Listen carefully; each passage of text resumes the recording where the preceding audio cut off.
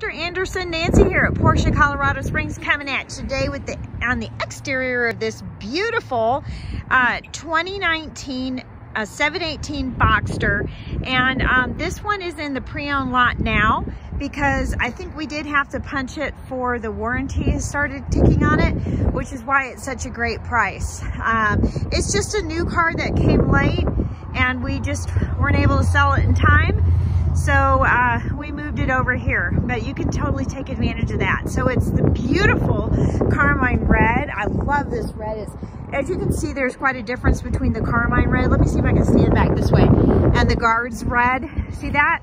I it's just so much more subtle. Just, just a, if you were a woman, I'd say it's a lipstick shade, but you're not.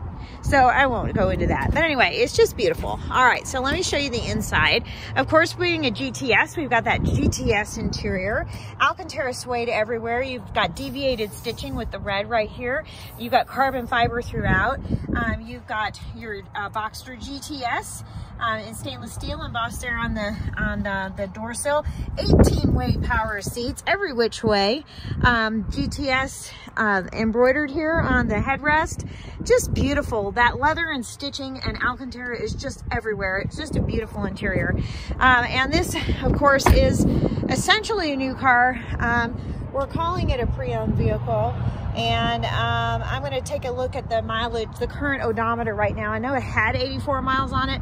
I think it has been test driven just a little bit. And of course, because it was a base, it is a new car, even though it's being sold as used, um, it does not have a clear bra on it yet, but I also don't expect there to be really any rock chips. Of course, if you drive it even around the corner, that could potentially happen, um, but I don't think so. So I'm going to start this baby up for you next, but I hope that this gives you the visual that you were looking for. And I'm sorry if I'm moving around too much. It's getting a little bit, it's getting